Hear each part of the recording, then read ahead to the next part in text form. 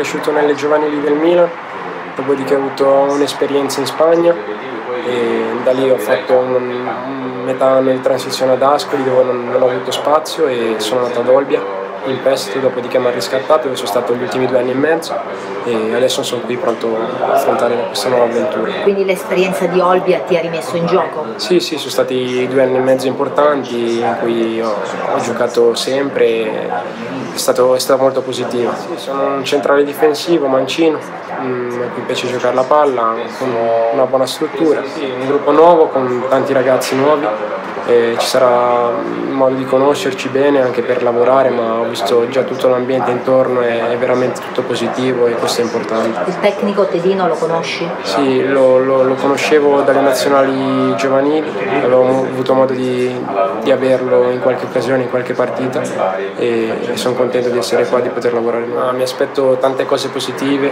eh, innanzitutto a livello di squadra e dopo anche a livello personale spero di dare il mio, il mio contributo, di, di fare il possibile per, portare in alto questa squadra. Sono, ho fatto già la Coppa Italia ad Olbia, le giocate tutte e due, la prima non, non l'ho fatta, però fisicamente mi sono sempre allenato, ho iniziato il ritiro un mese fa, quindi ho lavorato.